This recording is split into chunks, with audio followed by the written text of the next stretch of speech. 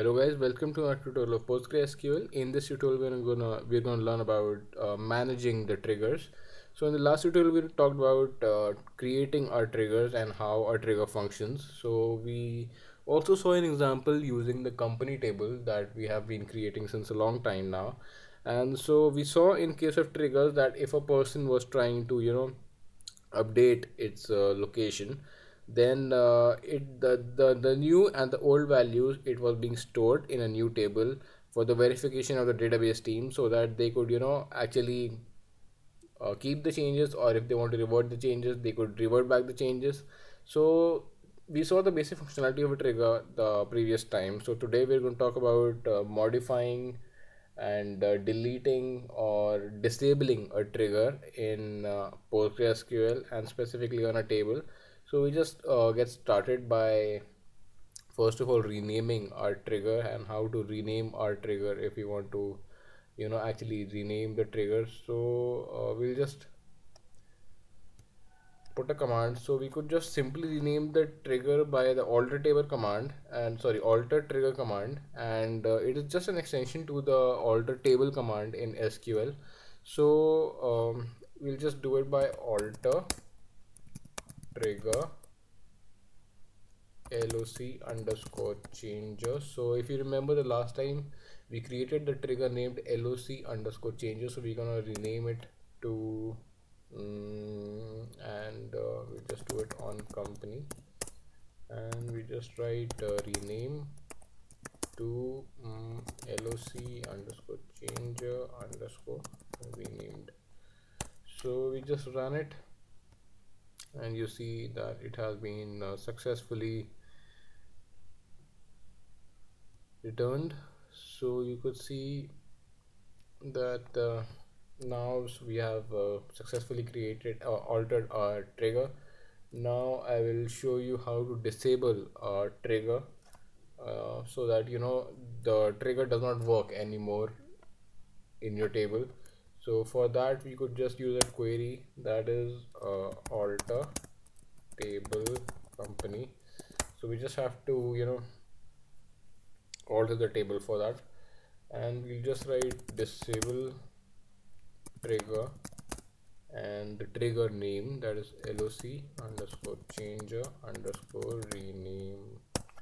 So this was the trigger name that uh, we we just renamed right now so it would work on this name now. So in this thing i would like to tell you one thing that suppose i have this one trigger that i want to disable.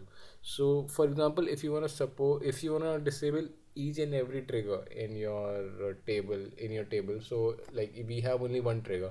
If you have multiple triggers then you could disable all the triggers together by just using all here. So if you use all here it would disable all of your triggers so there's no need to you know do it one by one. So for example i have only one trigger. So i'm using that. If i use all in this case it would disable the one trigger also.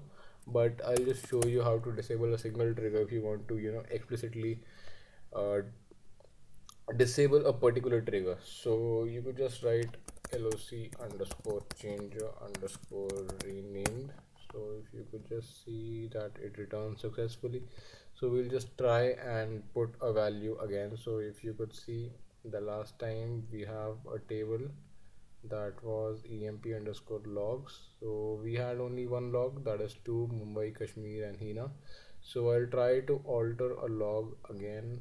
So now you know we could try uh, out uh, selecting a record and changing it again and we observe that uh, it won't work in this case now so you could just do update company set uh, address equal to Kolkata where id equal to 7 so if you run it you see one row has been affected. And if I go to this table now that is emp underscore logs you see that the row has not been added. So this is how we disable our trigger. And uh, so if you wanna enable it now you could just type enable and run it. You could see that uh, it has returned successfully. And now again we'll just uh, do an update. Company. Set uh, address equal to suppose Delhi for the same person where id equal to 7 and you oops, and you see that returned successfully. And now we check the logs so you see that uh, for Rahul we have an old address of Kolkata and new address of Delhi. So guys this is how we enable or disable a trigger. So you could just see. Now lastly I would tell you how to remove a trigger. So that is a simple drop trigger command. Drop trigger loc underscore changer underscore renamed and on company. So guys this would drop our trigger. So you could just execute and see it is done successfully. So guys thank you for watching this tutorial. Subscribe for more and stay tuned